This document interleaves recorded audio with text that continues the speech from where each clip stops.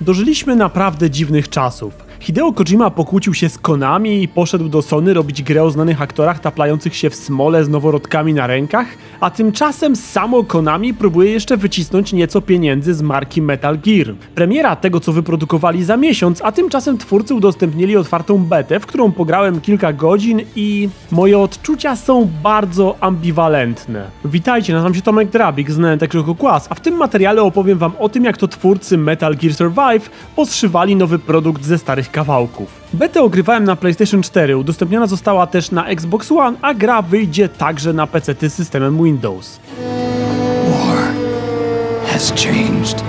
Wojna się zmieniła.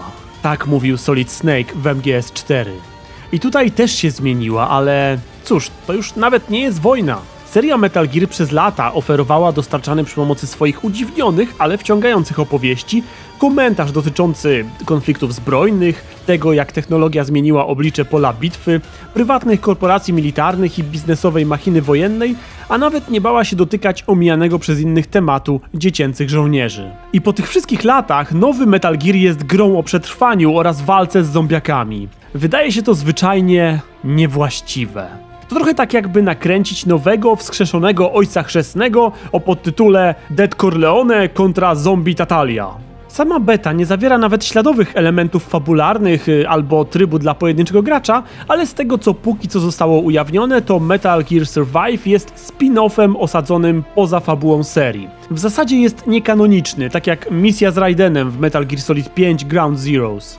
Fabuła tego tworu zaczyna się właśnie na końcu wspomnianego Ground Zeroes. Matko baza organizacji Big Bossa stoi w płomieniach i nagle otwierają się jakieś portale, które wsysają pozostałych przy życiu żołnierzy do jakiegoś innego świata zaśmieconego rzeczami wyssanymi z naszego świata oraz takimi dziwnymi kryształo-zombiakami. Kampania dla pojedynczego gracza ma być zrobiona w stylu modnych teraz gier survivalowych. Trzeba będzie polować, zdobywać pożywienie, wodę i inne zasoby, a potem budować bazę mającą stanowić ochronę przed hordami tych zombiaków, y, Swarowskiego. I ostatecznie trzeba też będzie pewno odnaleźć drogę powrotną do domu, prawdopodobnie z dostateczną ilością kryształów, aby móc założyć korporację jubilerską produkującą nekrobiżuterię z kawałków zombie. Ale tego w becie nie zobaczymy. Beta to tylko i wyłącznie tryb multiplayerowy z kooperacją dla czterech graczy, w którym trzeba na małej, otwartej mapie zbierać zasoby, wytwarzać różne płotki oraz pułapki, aby się zabarykadować i obronić przed kilkoma falami zombiaków urządzenie wydobywcze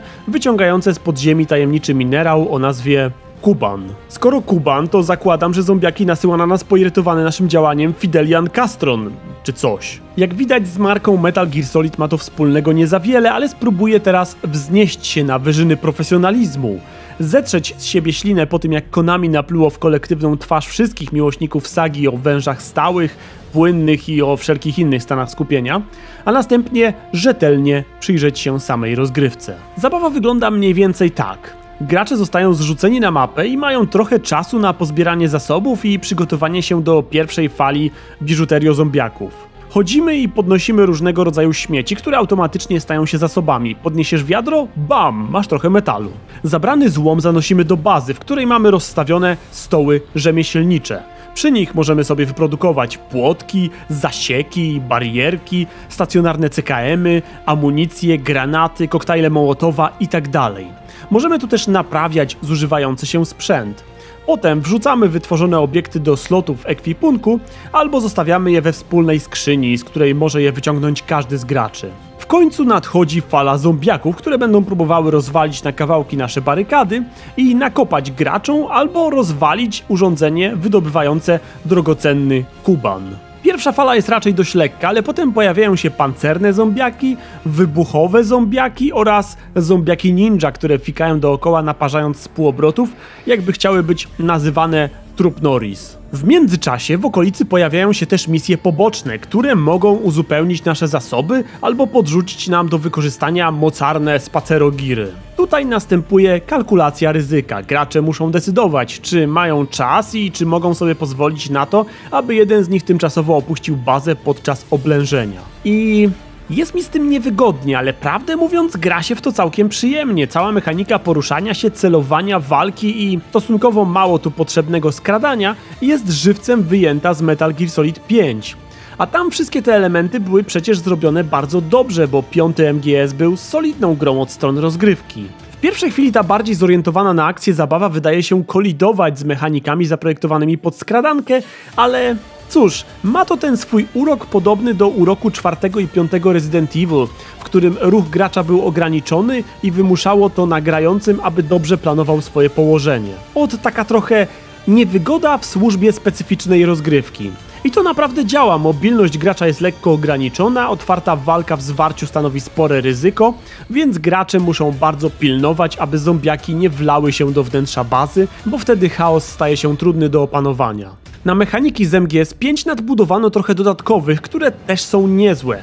Od chociażby to, że te wytrzymalsze barykady zwykle osłaniają też przeciwnika, a przez te słabsze, jak płot z drutu, można strzelać oraz dźgać włócznią. Zaskoczyła mnie mechanika nawalania z tej hehe dzidy, bo celuje się tu przy tym jak z broni palnej, więc perforowanie zombiaków wymaga sporo precyzji, bo dźgnięcia w głowę, to znaczy kryształek na czubku, zadają sporo więcej obrażeń. Czasem też rozwijamy postać odblokowując umiejętności takie jak ataki w biegu, chwytanie i rzucanie zombiakami, kontry itd. Można tu wykonywać sporo różnych akcji i sytuacje, które gra generuje pokazują, że cała mechanika rozgrywki została naprawdę przyzwoicie zaprojektowana. To jest zresztą coś, co deweloperzy z Japonii często robią lepiej. Zachód dobrze ogarnia produkowanie takich jakby doświadczeń, które się po prostu przechodzi, ale to Japończycy często lepiej rozumieją, jak projektować zależności i rozgrywkę, która sprawi, że gra nie jest doświadczeniem, ale właśnie grą stanowiącą wyzwanie, wymagającą lepszego poznania i zrozumienia mechanik. Na koniec tego całego oblężenia, w zależności od tego jak długo udało się bronić urządzenia wydobywczego, gracze otrzymują nagrody w postaci spadających z nieba pudełek pełnych zasobów, które można potem wykorzystać do produkcji nowych przedmiotów i ulepszania sprzętu. Są to praktycznie lootboxy, więc potencjał na mikrotransakcje w grze jest niestety znaczny. Muszę przyznać, że grając w to bawiłem się nieźle i z tego powodu czuję się trochę brudny. Trudno nie zadać tu pytania, czemu to w ogóle jest podpięte pod markę Metal Gear? Tylko z przyczyn marketingowych? Jeśli tak, to widać jak cały internet wybucha Konami w twarz swoją nienawiścią wobec takiego marketingu. Ale ja widzę tu jeszcze jeden powód.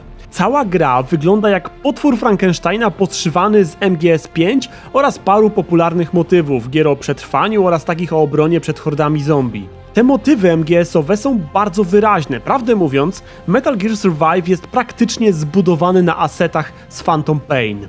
Te same animacje, sporo tego samego uzbrojenia, masa takich samych obiektów, identycznie działające i animowane Walker Geary, ba, sporo elementów lokacji jest tu wprost przeniesionych z drobnymi modyfikacjami. I dźwięki i styl interfejsu. Jest tu oczywiście trochę nowych asetów, sporo przerobionych, ale ależ ta gra musiała być tania w produkcji. Konami zrobiło ją z wcześniej przygotowanych kawałków. Bardziej wygląda to jak duże DLC albo dodatkowy tryb do MGS5 niż całkiem nowy tytuł. Ma to zresztą odzwierciedlenie w cenie, bo MGS Survive kosztuje mniej niż nowy, pełny, wysokobudżetowy tytuł.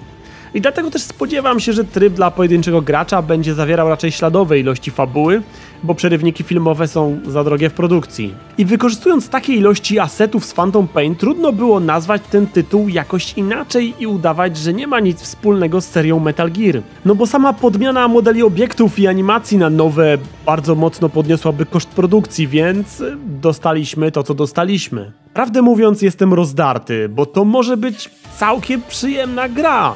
Większość gier survivalowych ma często mocno drewniany rdzeń rozgrywki i beznadziejny model walki, bo twórcy takich produkcji skupiają się raczej na wytwarzaniu, budowaniu i zbieraniu.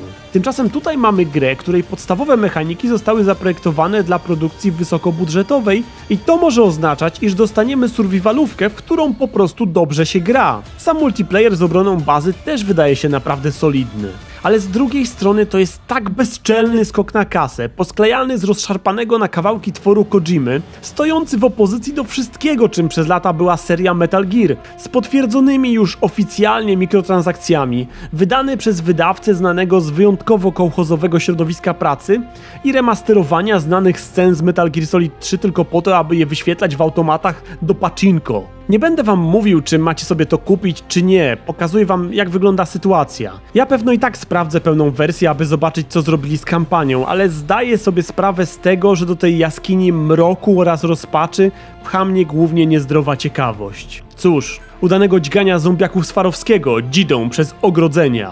Oto jak zmieniła się wojna. Game on!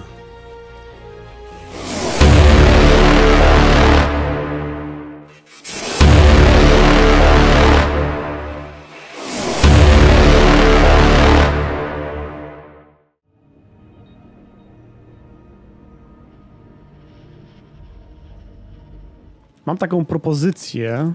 Jakbyś zrobił te olejowe, żeby one tutaj zjeżdżały z góry. Tam z góry, ale z prawej czy... Aha, dobra. Z jednej i z drugiej. Myślę, że już widzisz moją koncepcję. Jak się odwrócisz. No. To jest taki trochę jak e, ten... Robienie Luna Parku takiego, nie? Teraz stąd nie wyjdziemy. Wiesz co, idą już, idą. Z drugiej Idę, strony. Idę. idę. Ja wpadłem na pułapkę i nie umiem wyjść.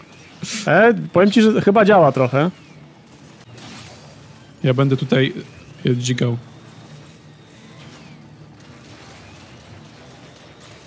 Leci, leci druga strona, ale tutaj jest ta szpara źle, trochę źle zrobione, ale lecą.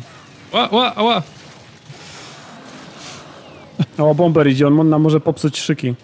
Lepiej O nie, uciekaj stamtąd. Wyskakuj stamtąd, no zaraz wy- wybuchnie.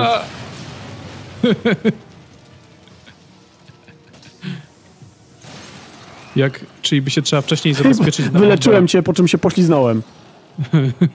I teraz się znowu pośliznę. Super, jest, jest dobrze. Jest dobrze, nie mogę się stąd No. wydostać. Tylko to jest żenada.